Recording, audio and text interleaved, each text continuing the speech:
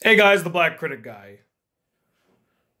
What inspired this video was I was driving home from work and I was listening slash watching a video by a YouTuber named Dogpack404 who's been doing these these breakdowns, these expose videos on a YouTuber by the name of Mr. Beast. A YouTuber I don't even need to explain to any of you if you've ever been on YouTube, you know who Mr. Beast is, even if you've never watched his content, which I never have. And don't worry, I'll I'll, I'll share my opinions on Mr. Beast in a in a bit, but I'm not trying to make him the center of this video. There's a bigger topic at hand. And by the way, check out Dogpack404's video, support him.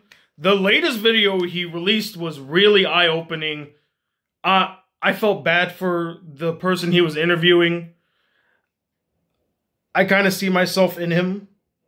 And if I was in his situation, I I probably would have done the same thing. You know, it's always the people that seem like the most energetic, the most joyous that get the short end of the stick or are suffering the most. They just keep it bottled up because they don't want to spread that type of energy out in the world. They want to bring joy and happiness. And I can relate to that. Hell, Robin Williams was like that too. And it got me thinking. You know, when we see people like Mr. Beast who blow up out of nowhere and get this notoriety and this fame and all this money and power and all that stuff, you know, it got me thinking, honestly. The first question was actually, is it worth being YouTube famous? That was the theme of what this video was supposed to be because, you know, it's not just Mr. Beast. There's been so many YouTubers throughout the years who you know they they were at the height of their power. They they were well known, they were well respected, but then they get exposed for either being shitty people or for doing shitty things or the truth behind their true intents or actions gets exposed, and we see them for the liars, manipulators, abusers, uh, groomers that they are. I mean, the list can go on. It's not just Mr. Beast, Dr. Disrespect, right? The I forget the name of the person that works with Mr. Beast. There's also the Cody Ko situation. Hell, even a guy like Moist Critical was dealing with some backlash for opinions that he had on the internet. And again, at first it started off with the whole like, is it worth being YouTube famous? But then it made me think, well, it's not really just YouTubers that this affects.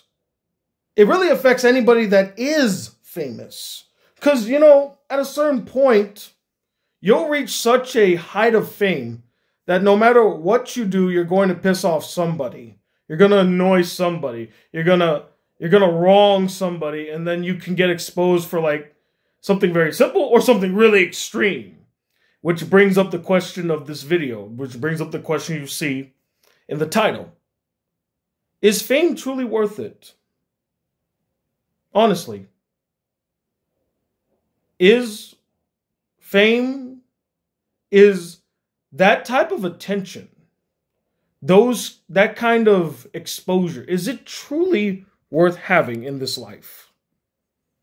I know, like many, maybe most of you, you've had dreams of making it big, becoming a superstar, your name on the screen, your name up in lights, as they used to say back in the day. I don't think they do that anymore because that that's referencing how movie theaters like had the marquee signs that literally were surrounded by lights, my name up in lights kind of thing.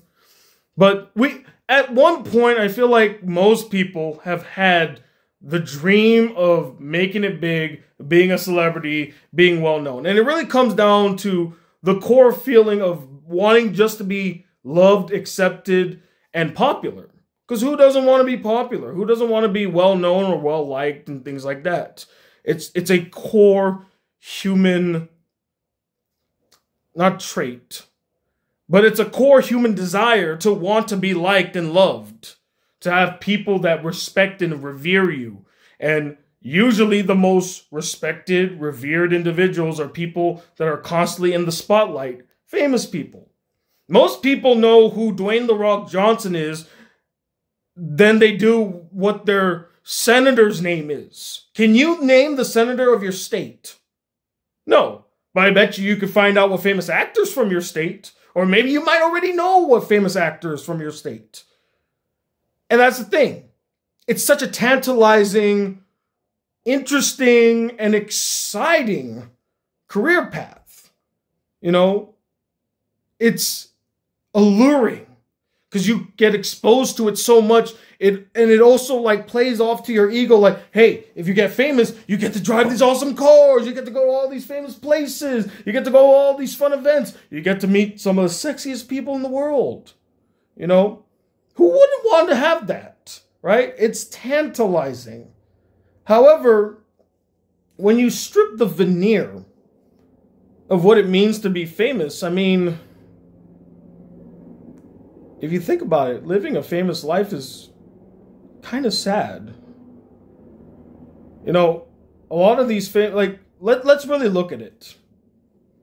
Cuz I feel like fame is a double-edged sword when it's all said and done. Yes, you get the fame, you get the notoriety, you get all those eyes and attention on you, you know, you have people that truly love and respect you, people that are willing to go extreme lengths to see you. However, the downfall of this is that you will never get to have a private life ever again. Every single action, every single thing, every single inch you take will be monitored by somebody. It could be paparazzi, it could just be your legion of fans, it could be the local stalker across the street. You will never have a private life ever again. Your your life will constantly be in the tabloids, constantly be in YouTube videos, constantly be on the internet in some way, shape, or form. So you can just throw out having a private life. You will never have that again. And in addition to that, tying into the fact that you won't have a private life again, no matter er, whatever you do will be out there for people to see, even if you don't want them to see it. You might even have opinions that might go against the fray that many people may not agree with, may not be, you know, vibing with, and they might turn against you for it.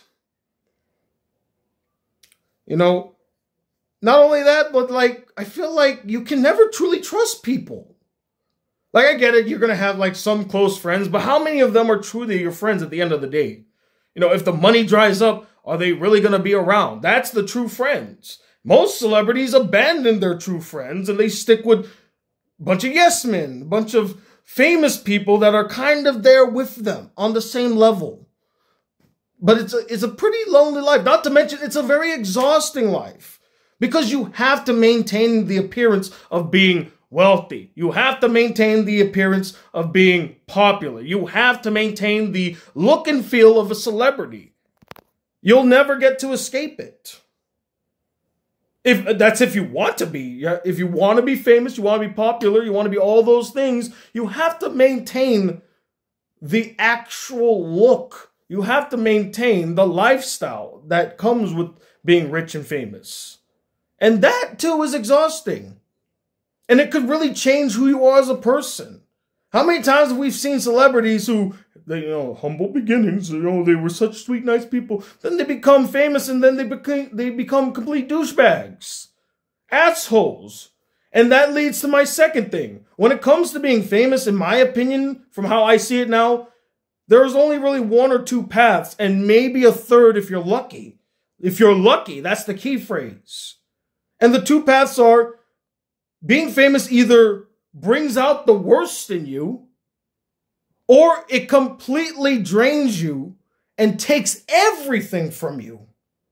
Going down that first path brings out the worst in you. How many celebrities in the last 10 years have been exposed for being reviled pieces of shit? Harvey Weinstein, Jeffrey Epstein, Bill Cosby, Kevin Spacey, Bryan Singer, and some of these were not secrets. They were open secrets. They knew about it. And then getting into the, the lower levels in YouTube. You know, Shane Dawson, that Charlie person. I, I don't remember the name of that person. Uh, that Dobrik guy, re- like a long time ago. That Dobrik guy. There was also the issue with Channel Awesome, if you remember that with Doug Walker. I know we we haven't talked about in years, but remember that whole thing where Channel Awesome got exposed for the shady practices that they had. There was there was the Fine Bros incident of 2016 there, you know, Keemstar and his his filth. And I'm, I'm trying to remember. Oh, this that's the thing. There are so many YouTube dramas, so many things where YouTubers were exposed, grooming young children, being exposed as PDF file downloaders. I mean, it it gets it gets so much. Even back in the day before YouTube was a big thing, I was once a subscriber and once talked to a man by the name of Mr. Anime. Now, to some of you, that name means nothing. But if you were an anime person or an anime YouTuber in the early 2010s, you know who Mr. Anime was and how he set us back many years. If you don't know who he is, look him up. Type in Mr. Anime YouTube on Google. You will be stunned by the results. Because such an innocent, simple name is tied into such a tragic, dark, twisted event. And that's what I mean. Like, I feel like fame brings the worst out of people, especially if you were you already had some darkness in you, or at least you there was some there was like something within you that would have led you down that path. Sorry, I'm sweating like a pig. It's hot in here. Um, I mean, because you're so rich, because you're so powerful, because you're so famous, you think that you could get away with it. Like you don't live in the world of responsibilities and consequences anymore. So I can just do whatever the fuck I want. How many celebrities have always thought that? Rich people, executives. And then we get to the Mr. Beast situation, which since we're talking about him, can I just state for the record right here, right now. I have never talked about Mr. Beast, I think, at all on my channel, but I'm going to state this right now. I never liked him. From the moment he showed up, from the moment he became popular, I never liked Mr. Beast. Because when I saw Mr. Beast, I didn't see a YouTuber. I saw an opportunist. That's what I saw. From the moment I saw a thumbnail or heard about him, I hated everything that he stood for. Everything. I had never felt such a fake person. I have never felt like I was being manipulated by a YouTuber before until I saw a Mr. Beast thumbnail. Like I just see that that overly exaggerative smile, that uh, PR smile is what I would call it. And I see these challenges like, oh, stay in the circle for blah blah blah. Oh, I'm gonna go buy a restaurant. Oh, I'm gonna do this. Like, for me, it just it felt like pretentiousness thrown on screen. A guy desperately trying to get your attention by doing something super outlandish, but there's no heart and soul to it. It feels so phony. It feels so fake. It feels like the antithesis of what it means to be a YouTuber. It's manipulative. It's. it, feel like they said this in the video I saw today, where it's like it feels like a business, like he was working on like a a, a studio set, which is exactly what I feel like when I see a Mr. Beast production or when I hear about a Mr. Beast production, it doesn't feel like a small guy, YouTuber guy that just wanted to make silly videos and grew big and did all these things like a uh like a Smosh, like a Markiplier, like a PewDiePie, like you know, there's so many people I could name off the top of my head, but you know what I mean. He, he manufactured. That's the word. It feels manufactured. And obviously it is from the videos I've seen talking about Mr. Beast, he was very smart and meticulous about how he approached making videos, following trends, knowing what his audience likes, and playing off of that. Manipulation at its finest. I hate everything Mr. Beast stands for. And now I even hate the person that is Mr. Beast, whoever the fuck he may be. Because he's a fine example of how fame can go over your head, where you think you can get away with anything because you have money. Because you have that notoriety. If you have to live in fear of working with someone because they could ruin your career, that's a fucked up person. I'm sorry. Hearing that the guy that was interviewed in that dog Ooh, his name escapes me again. But in that new video that came out, like the fact that he was scared to speak his mind because it could ruin his career. That is awful. I hate that. If we can't be honest with each other, then what the fuck's the point? What's the point? Then we're not being genuine here. So yeah, I hate Mr. Beast. I hate everything he stands for. I hate all of his videos. I hate everything that he's ever done. And I feel no remorse, none, for what's happening to him. And, and at all, I don't feel bad for him. I don't feel sorry for him. Deep down in my heart, I feel like it was a long time coming and he fucking deserves it. It was a long time coming and he fucking deserves it. I'm sorry. I'm not going to apologize for that opinion. He, in my opinion, is what's wrong with YouTube. It's been what's wrong with YouTube for a very long time. There's always going to be that one YouTuber that shows up where you say, oh, that, that guy is what's wrong with YouTube. It, all, it happens all the time. Like the, the Paul brothers, remember them? Yeah. And I still think they were wrong for YouTube. Keemstar, I still think was wrong for YouTube. Like there's always these trendsetters for the wrong types of trends. And then they end up being popular, whereas people like a Jacksepticeye, a JacksFilms, um, like animation teams, like they get no notoriety. It's all these stupid challenge videos and stuff like that. Like YouTube doesn't feel like YouTube anymore. It feels like a product. Not a product of genuine people, but a product from a business. And that's Mr. Beast. He's a business. He's not a YouTuber. He's a business. He's a corporation. And he's as soulless uncaring, and manipulative like any business out there. And we should not pretend that that's not what he is or what his company stands for. Clearly, in the expose videos that we're seeing. And thank God they're finally coming to light. Because I always knew there was something about him that really irked me.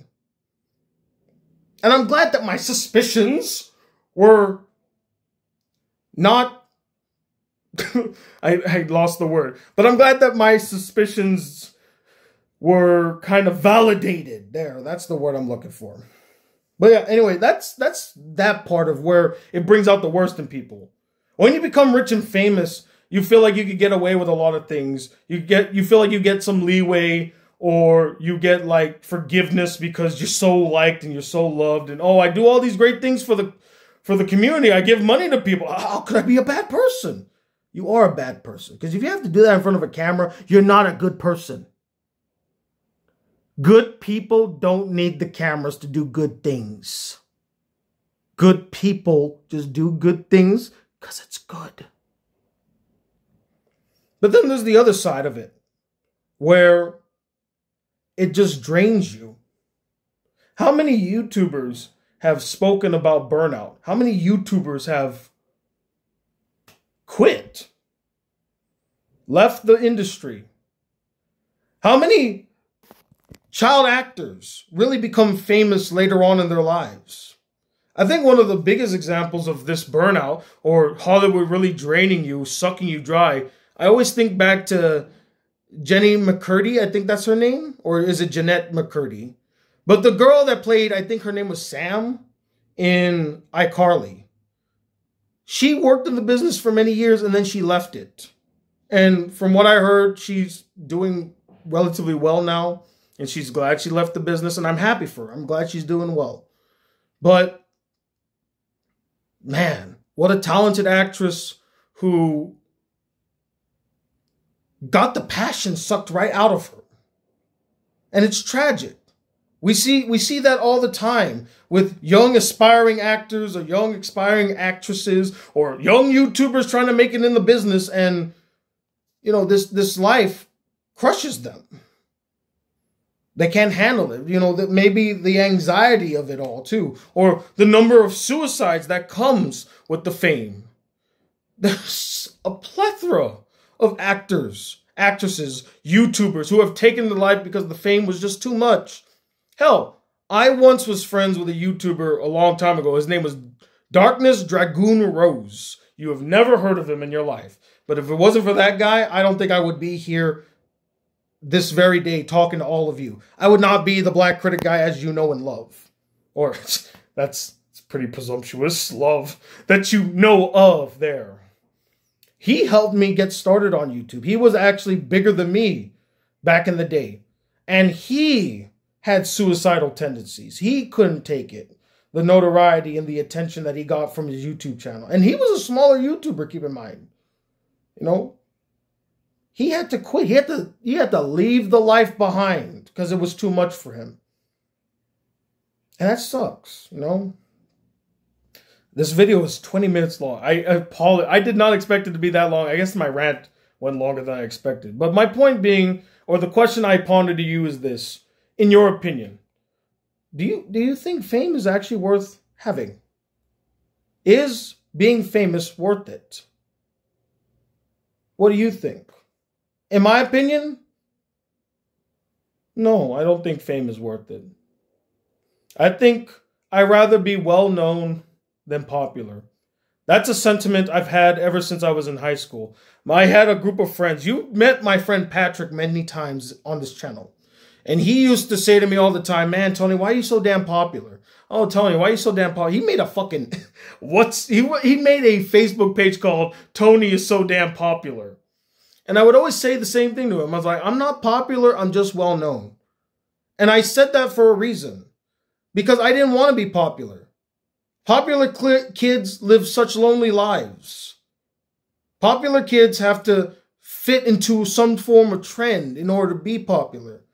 I would rather be known by people and liked, respected by people rather than, oh, he's the cool kid, he's the popular kid. Because popularity can dissipate over time if you fall out of out of sync with what's trendy, if you fall out of the fray of what people are into. But if you're well known, it doesn't matter what the trend is, they know of you. They know of you through your personality, through your actions, through your other things outside of the fact that you're cool and you look cool and you're sexy or whatever, right? And that's the thing. That's why, in a weird way, I'm glad I'm where I am with my YouTube channel. I, I'm perfectly satisfied. I knew back in the day I wanted to be the next big YouTuber, the next big anime YouTuber. I wanted to represent Guam as like the most popular YouTuber from Guam. That was one of my goals back in the day. And while I don't think that was a foolish goal to have, I just don't hold much weight to it anymore. I rather just be me and make the videos I want to make and be my genuine self. And hopefully people radiate to that. Maybe it works, maybe it doesn't. If it doesn't, it's okay. I live a good life. I have a I have a great supportive family, a supportive girlfriend, great friends here on Guam, great teacher friends. I live a wonderful life without having to be famous, without having to be popular, without having videos reach a million views. I'm perfectly fine if a video reaches a thousand because at least 1,000 people cared enough to hear what I had to say about something. So that's that's pretty damn impressive. So yeah, what do you guys think? Is it worth being famous? Do you still want to be famous? Do you still want to live the celebrity life? Do you still want to be the big YouTuber? Or do you feel like that's not really a path for you? Or you don't see any real value in living that path? Honestly, Let's have a discussion. Comment below, let me know. Sorry this video is 25 minutes long. Classic BCG. He just keeps talking. I, I just had to share these thoughts. I had to really get out my feelings about Mr. Beast. I've hated that guy so for so long. And it felt really cathartic to say all of that now. So let me know in the comment section below, guys. I'd love to hear what you have to say about this topic. And, you know, even if you want to share your thoughts on Mr. Beast too, please put in the discussion. Thank you all for watching. Oh, by the way, just uh, so you know, I've uh, been working real hard on some uh, new content. I believe you see some uh, videos, right? Oh, or, or those three produced videos over there on my on my laptop screen? Oh, they are. Oh, I wonder what they are. I wonder what they're gonna be. Well, I guess you're gonna have to wait and see, aren't you? But until those videos come out, guys, if you'd like to see more videos of the channel, be a part of the Black Critic Crew, please hit that subscribe button below. Like this video if you really enjoyed it. And I'm Tony Watt II, the Black Critic Guy. Till then, peace, YouTube.